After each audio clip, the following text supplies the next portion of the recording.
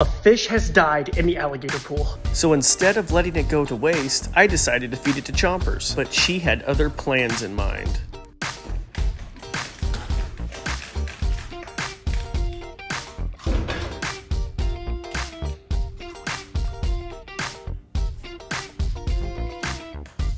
Chompers, you don't want your fish? Is it not fresh enough for you?